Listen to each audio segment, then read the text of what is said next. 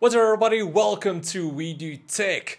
Now the cryptocurrency market has had a massive boom in 2017 and a lot of people are getting into it now. But it's still not really common knowledge on how it actually works and how you can get into the cryptocurrency market. This is where I wanted to make this video and a bunch of other ones where I explain how everything works and how you can get into cryptocurrencies yourself. I'm also going to make some other videos over mining, trading, and selling cryptocurrencies, but also I'm going to make videos on how to build your own mining system and how to improve on your mining efficiency but all of those videos are coming a bit later. Now, I have already made a bunch of videos on how to mine Bitcoin, Ethereum, Monero, and a bunch of other coins. So I will leave the links in the video description for you to actually go and check out and already start if you wanted to. Now, because there's so much information about the cryptocurrencies, I'm not going to be able to go over everything in depth, unfortunately. This video is going to give you a basic understanding of what and how the work. And then when I go over certain topics, I will leave some links in the video description for you to actually go check out if you want to learn a bit more in depth about that certain topic. So you can just check those out as well. Now, in this video, I'm going to talk about the cryptocurrencies, what they are, how they work, how safe they are, and also how to obtain them. For the main example, we're going to take a look at Bitcoin because of course it's the most commonly used one and it's also the first and biggest cryptocurrency.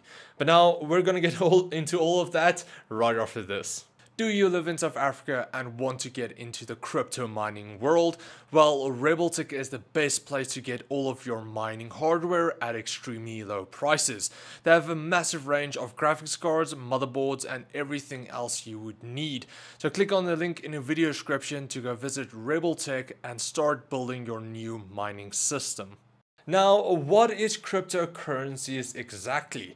Well, in short, just like the name implies, cryptocurrencies uses cryptography, which is the art of writing or solving codes. This makes the cryptocurrency extremely secure and also it's not really controlled by anybody.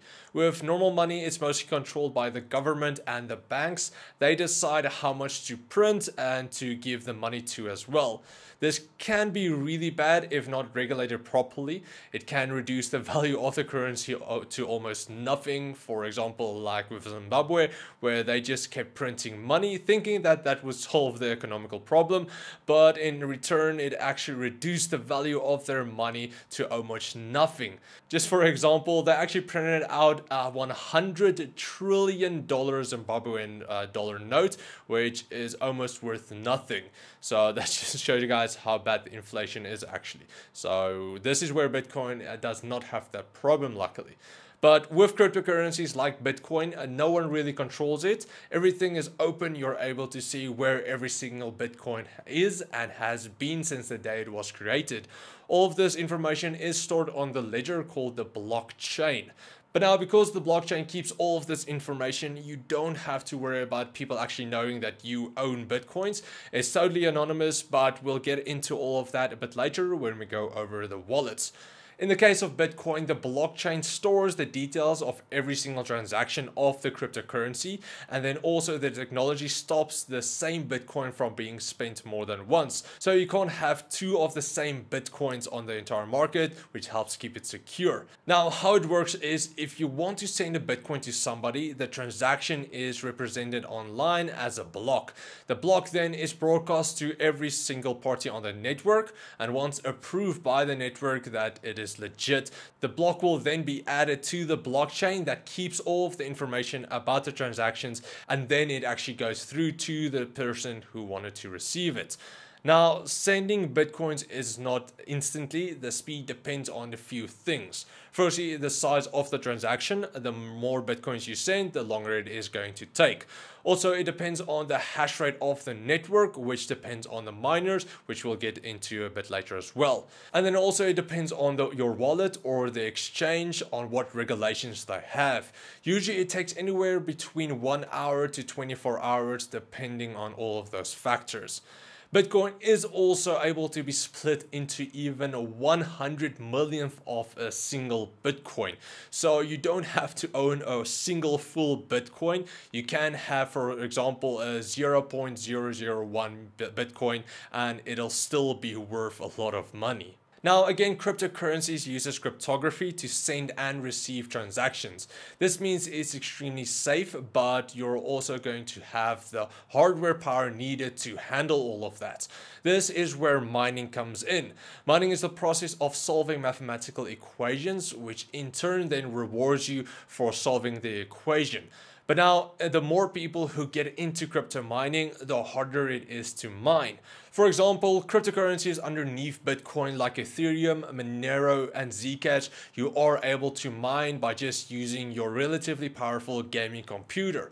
But Bitcoins, however, is not that easy because so many people has already started mining it. The difficulty has increased a lot. And now for a long time, you are not able to mine Bitcoins with normal hardware.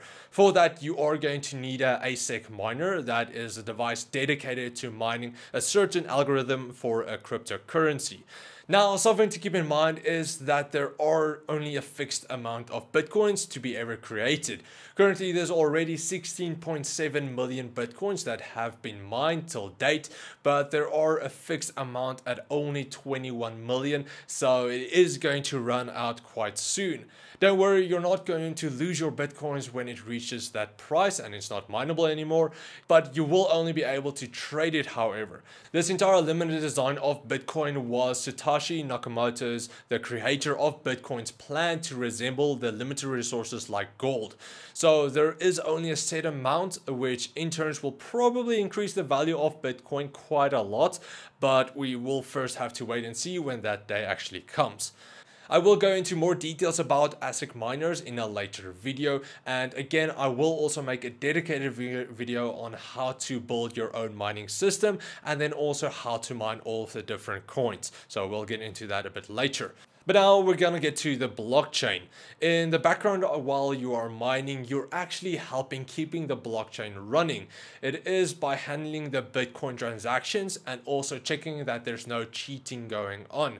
This is because the blockchain is one huge network with millions of systems actually handling everything. So if one system gets hacked or something goes wrong with it, there is still millions more to go. So if one fails, you don't have to worry about actually everything falling apart. This makes Bitcoin almost unhackable, but that does not mean cryptocurrencies cannot be stolen. But firstly, let's take a look at what wallets are. So wallets are kind of self-explanatory. It is the place where you would keep your cryptocurrencies, either holding them for future use or holding them to be traded or sold on an exchange. When creating a wallet, you will get your wallet address depending on the cryptocurrency. It will have numbers and letters that will make up your wallet address.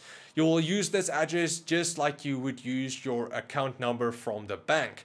When receiving cryptocurrencies, you will send your wallet address to the person that's actually sending you the bitcoins or the other uh, currencies or you would add your address into the miner that is going to mine the cryptocurrencies for you.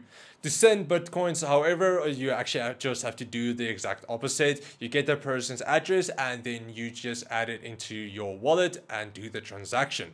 Now keep in mind, this is where it's almost like a bank. The creator of the wallet will ask you a fee for sending cryptocurrencies. In exchange, they will have security to help keep the cryptocurrencies safe.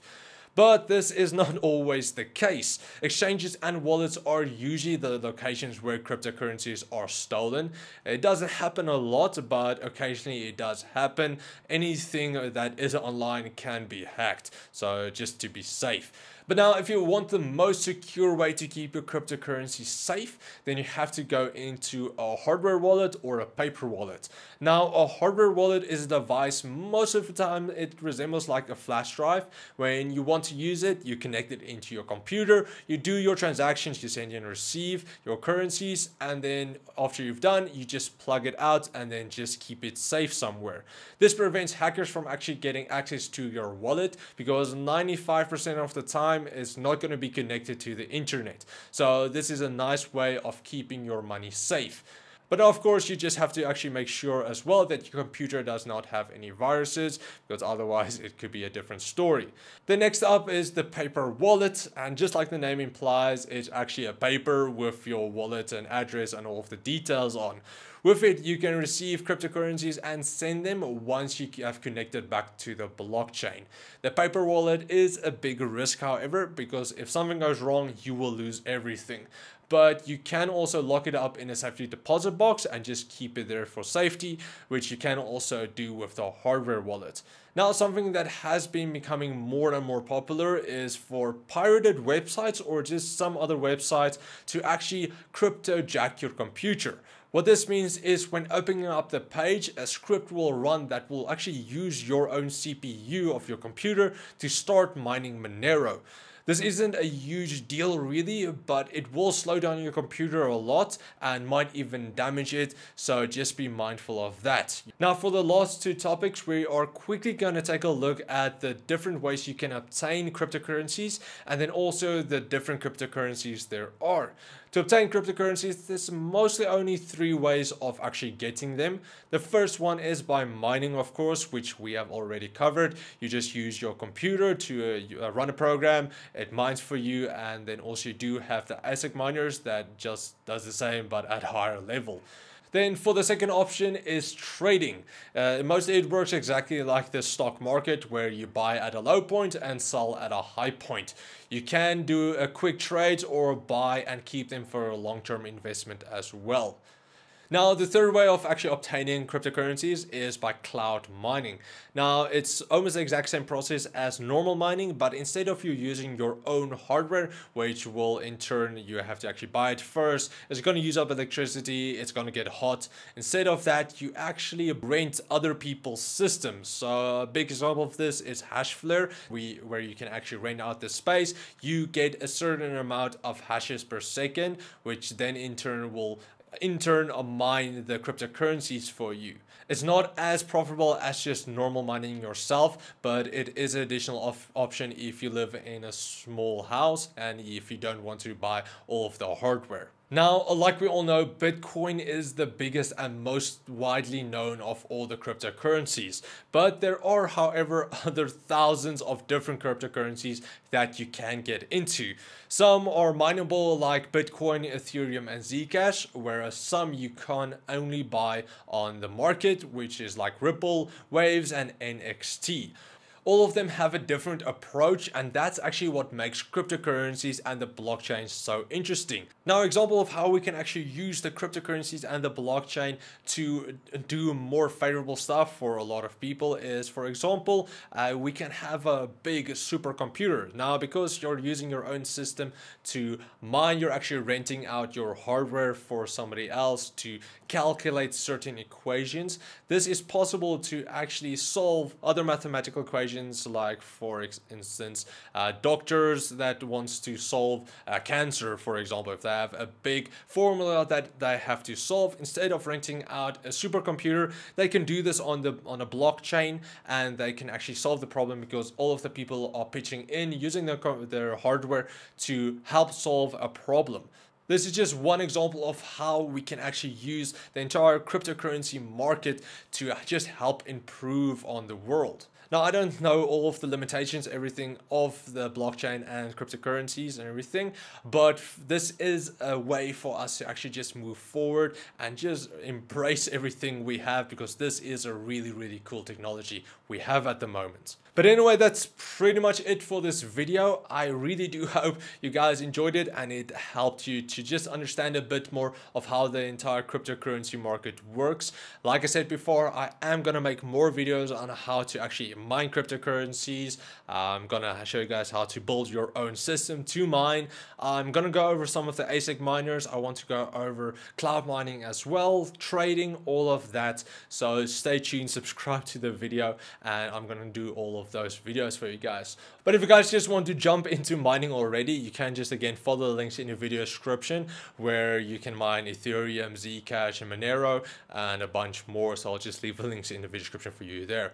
But anyway, that's again, that's pretty much it. Thanks for watching, guys. If you did enjoy this video, please like, share, comment, comment like always. Also, yeah, again, please subscribe. I'm going to make a lot more videos for you guys. And yeah, that's pretty much it. So thanks for watching, guys, and I will check all of you next time. Cheers, guys.